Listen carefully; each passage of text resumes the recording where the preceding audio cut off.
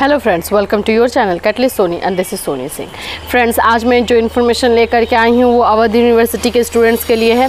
जैसे कि आप जानते हैं कि अवध यूनिवर्सिटी का डेट आ चुका है।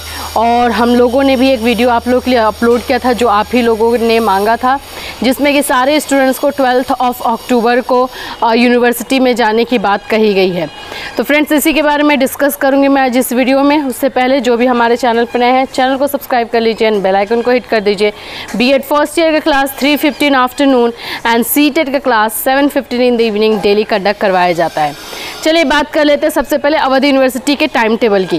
टाइम टेबल तो आया है, लेकिन टाइम टेबल में भी बहुत सारे जो है, मैं बोलूँ कि और डिफ़िकल्ट बना करके टाइम टेबल दिया गया है, क्योंकि एक तो थ्री आवर्स का जो है डिस्क्रिप्टिव आपका एग्जामिनेशन होने वाला है, जो कि होता है जैसे, लेकिन उसमें भी गैप नहीं है। कंटिन्यूस एग्जामिनेशन है कंटिन्यूस पेपर हैं, जो रेगुलर पेपर जो कंपलसरी पेपर हैं, वो कंटिन्यूस है।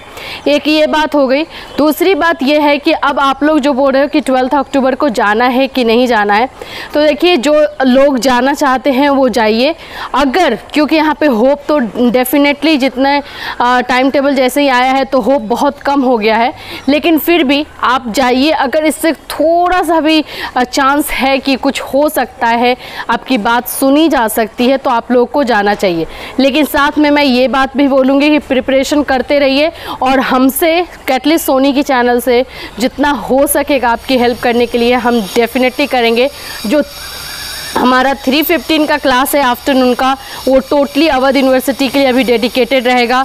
अवध यूनिवर्सिटी के सिलेबस के अकॉर्डिंग हम लोग बीएड फ़र्स्ट ईयर का क्लास जो है 315 में चलाने वाले हैं, जिसमें उन लोगों के अकॉर्डिंग क्वेश्चन रहेगा, जो इंपॉर्टेंट क्वेश्चन अभी तक आए हुए हैं। उसी को हम डिस्कस करेंगे, उसके आंसर्स को डिस्कस करेंगे और हम उसे कंप्लीट करेंगे, फिर जो पीडीएफ होगा आपको टेलीग्राम पर मिल जाएगा। तो इस तरह से हमसे जितना हो सकता है, हम आपकी हेल्प करेंगे।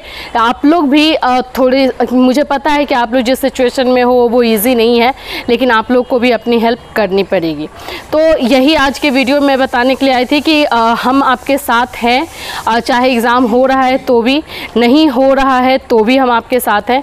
तो देखते हैं अब क्या होता है लेकिन प्रिपरेशन करते रहिए और आपको जो भी हेल्प की ज़रूरत है तो आप हमें मैसेज कर सकते हैं। इंस्टाग्राम पर फॉलो कीजिए और मैसेज कीजिए हम आपकी हेल्प ज़रूर करेंगे। तो फिर मिलूँगी तब तक के लिए हैव अ नाइस डे